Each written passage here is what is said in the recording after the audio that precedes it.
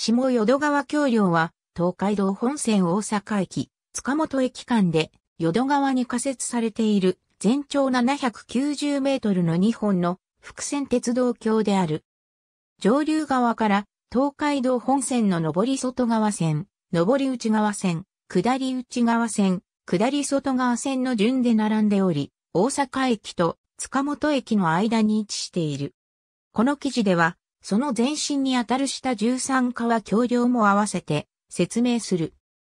下13川橋梁と下淀川橋梁の一図70フィート、ポニーワーレントラスゲタの図日本政府は日本で最初の蒸気機関車による鉄道として、新橋横浜間の鉄道に着手したのに続き、すぐに神戸京都間にも鉄道を敷設するように事業を進めていた。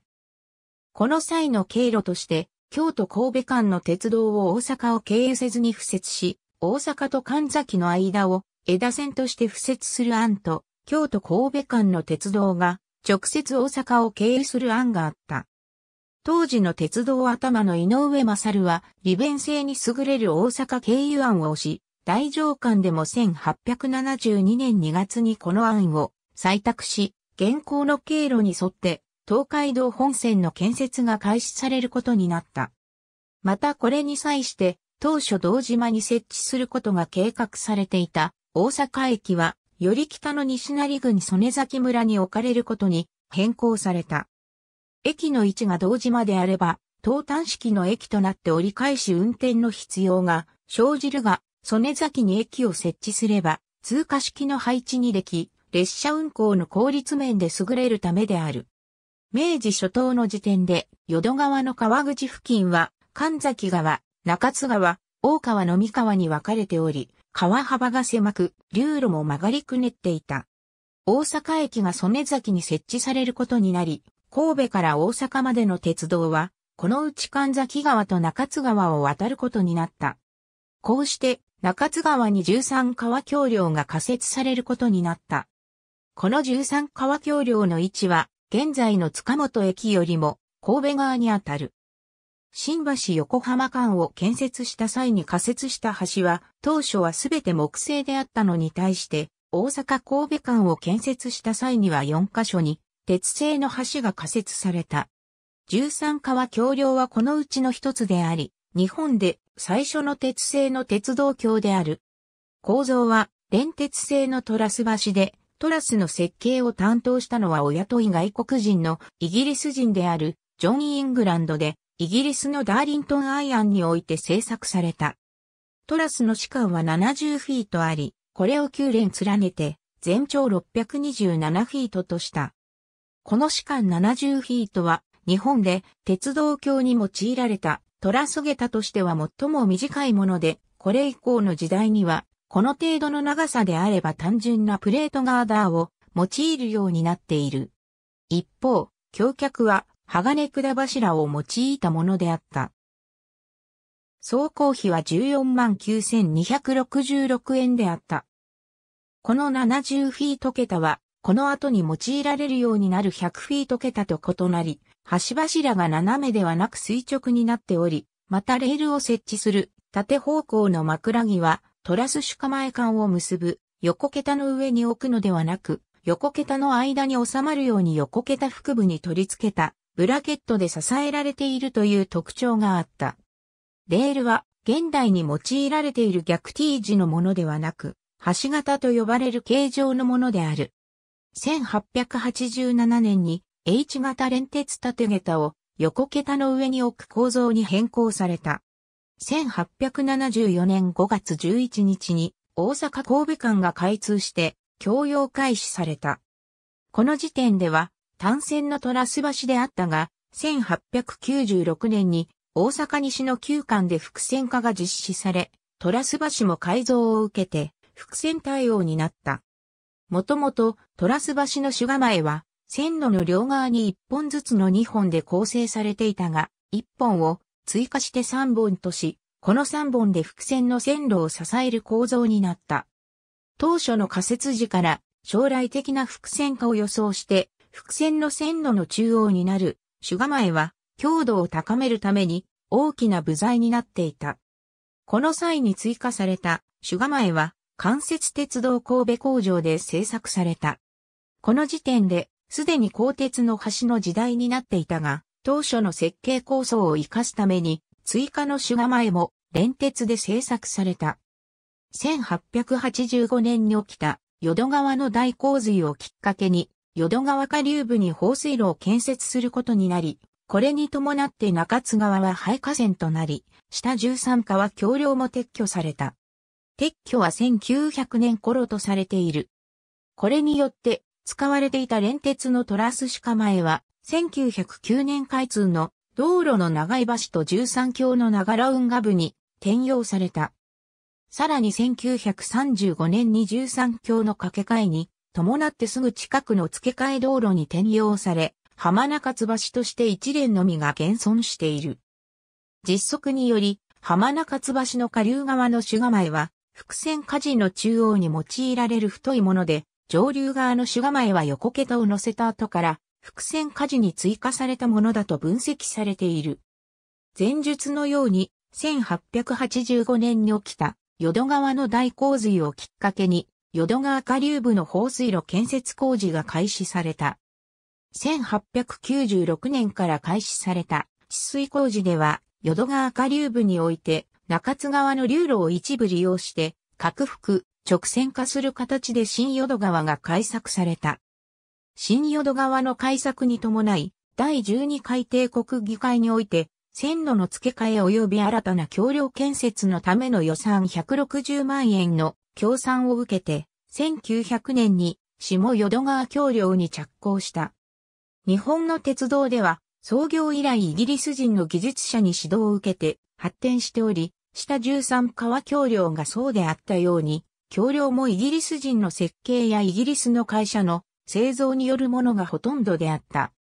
しかし、合理的なアメリカ式の橋梁の影響は次第に日本にも浸透し、さらに機関車の大型化が進展すると、従来のイギリス製の桁では強度が不足することから、より頑丈な橋への掛け替えが必要となってきた。イギリス人の建築士長、チャールズ・ポーナルが1896年に帰国すると、早速1898年には、アメリカのセオドア・クーパーとチャールズ・シュナイダーに対して、アメリカ流の標準トラス桁の設計が移植された。こうして設計された100フィート伏線下のプラットトラスが23連、下淀川橋梁に仮設されることになった。トラスを製作したのは A&P ロバーツペンコイド工場である。設計上の活荷重は、重量20万6000ポンドの 1D 型テンダー、機関車10連に1フィートあたり3000ポンドの荷重が続く前提で計算され、クーパー荷重にして E29 に相当する。また単線常時版桁22.25メートルを1連、伏線で合わせて仮設し、全長は773.0メートルとなった。株構造はレンガを使った井筒を15メートルの位置まで沈下させて構築した。1902年2月に竣工した。決算額は上、淀川橋梁及び関連する線路の付け替えを含めて155万5366円であった。新淀川の放水路自体は1909年に全面完成した。京阪神間では複々線に増強する工事が1916年から順次進められてきた。その進捗により、阪神間では1934年から電車の頻繁な運転が開始されていたが、大阪、塚本間の下淀川橋梁を含む区間は伏線のままであった。この区間では、宮原操車場に出入りする回送列車があり、さらに、福知山線へ直通する列車も走るため、いよいよ運転状況が逼迫してきたことから、1934年10月に、複々線に増強する工事に着手することになった。既存の橋梁に対して、下流側に中心間隔が18メートル離れた位置に新たに、複線の橋を単線上地盤桁を25連複線で仮設することになった。左岸側から順に28.5メートル盤桁1連、32メートル番桁22連、25.4メートル番桁1連、16メートル番桁1連で、構成され、総延長は789.7メートルである。既存の橋梁がトラス橋であったのに対して、新設橋梁で上地盤桁を選んだ理由は、桁の製作、仮設ともに後期の短縮ができること、足場を用いずに仮設できて、6月から10月まで河川域内に工作物を設置できない淀川においても工事の時期を選ばないこと、桁の高さが高くなるために、橋梁の前後で線路の向上をする必要があることを考慮に入れたとしても、走行費が4万円程度安くなる見込みであること、そして単線下駄を利用すれば災害時に橋脚に異常があっても復旧が迅速であることなどである。設計かつ荷重は KS-18 である。1935年6月には株構造の工事が完成し、11月には桁の仮設を終える手はずで工事を進め、関連する工事もすべて終えて、大阪塚本間で複々線での列車運転を開始したのは1937年10月である。走行費は55万8079円であった。建設省の淀川改修堤防かさ上げ工事に伴い、下淀川橋梁を改良することになり、老朽化した橋梁の取り替えを実施することになった。1964年11月30日に国鉄大阪工事局と建設省との間で仮協定が1966年3月17日に本協定が結ばれて工事が施行されることになった。新しい橋梁は従来の橋梁より下流側に新しい下り線を新設し、従来の下り線の改良を行って新しい上り線とし、古い上り線は撤去することになった。また、下流側に隣接して、阪神高速11号池田線の橋があり、同時期に橋脚の戦艦工事を実施することになったため、主要な仮設物を阪神高速道路公団と共用利用することになった。道路橋と下り線橋梁の中心間間隔は14.5メートル、下り線橋梁と上り線橋梁の中心間間隔は10.6メートルである。新しい橋梁のトラス桁は、従来のほぼ2倍のスパンとなる64.2メートルの主間となった。戦艦を利用して、鉄筋コンクリート製の橋脚を12基建設し、阪神高段側の箱桁の上のクレーン用軌道を借りて橋桁を仮設した。